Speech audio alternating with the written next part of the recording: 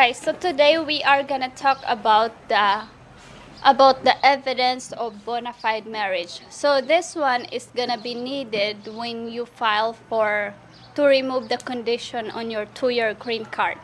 So this is this puzzled a lot of people.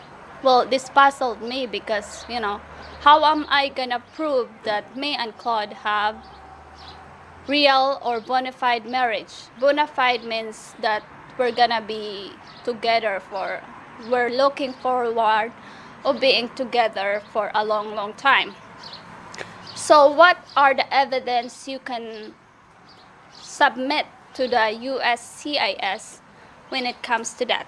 So number one on that is a copy or a document that in your insurance or life insurance your husband or wife is on that name so what we did is Claude has his and I have mine from my work.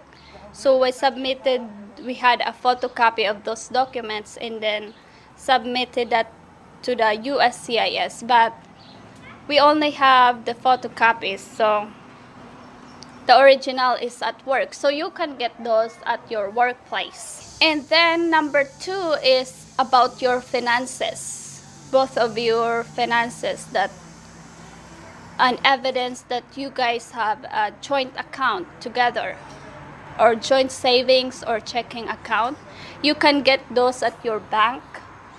So they will give you as long as you know on your on your account there it will say both of you and your husband's name.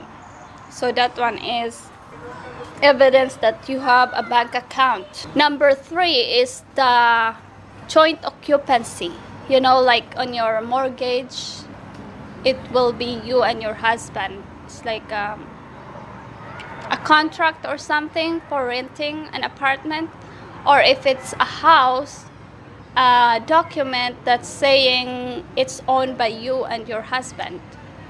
So basically things that has both name on you and your husband's in there so in our case, um, I'm not on my husband's lease on his apartment, so weren't able to submit on that document because it's only his, the apartment. So I wasn't on the list, so we didn't submit that documents. Number four is health insurance.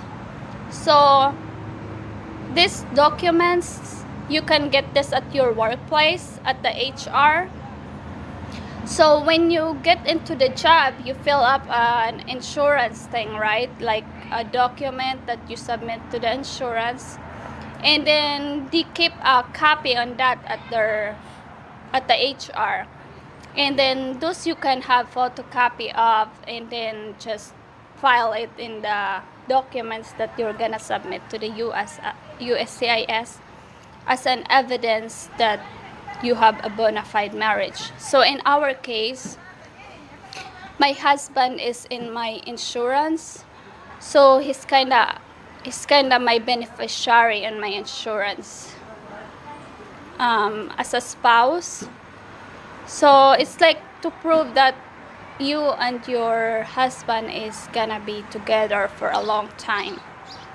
Number five, is loan or credit card statement account. So you can just put it on your paperwork there that you're gonna submit to the USCIS all together. And number six is the birth certificate. If you and your husband have already have kids, you can put the birth certificate of your kids in there. So in our case, we don't have kids, so I wasn't able to submit that kind of document. So you just submit the things that is, you know, applicable to you. These are just the choices you can do to prove that you have a bona fide marriage with your husband. Number seven here is your social media accounts. So in our case, May and Claude had a YouTube channel, have a YouTube channel. So I did screenshot the profile on our YouTube channel. Well, I'll just show you on this one here. so this is how it looks like I just screenshot it and photocopy it and I also had a screenshot on my Facebook because my profile is me and Claude so I just screenshot it also and then print it and then just pile it with the documents that I have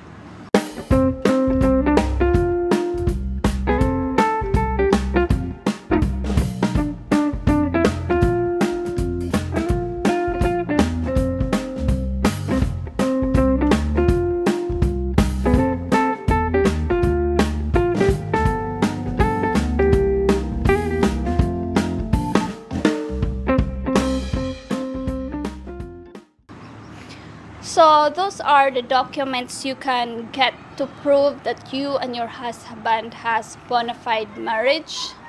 So the USCIS do this because why do you think this this kind of documents is needed? Well, to prove that you just didn't come here, get married, to become a, to get your green card and then leave. Yeah, and scams. Yeah. In short, the USCIS need those documents to avoid scams because that happens in here. So if the USCIS see that you and your husband is, you know, planning to have together, planning to have your life together with your husband for a long, long time, then that's when they approve your green card. Or else, if you didn't prove that much, you know, you're gonna go and have an interview so they're gonna invite you if you have not submitted that much evidence that you and your husband have bona fide marriage, which is gonna just take the process longer.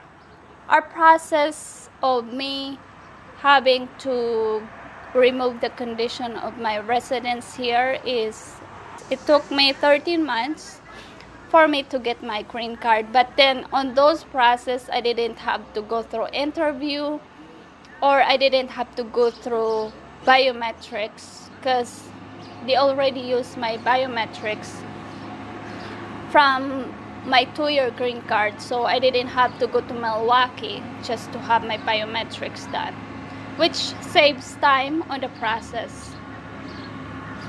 Anyway that is all guys. I hope this is helpful. And if you have questions just comment down below I'm gonna put the link on the USCIS too. To look the process because it's all there. It's all there guys. All you need to do is go to their website. I will see you next time.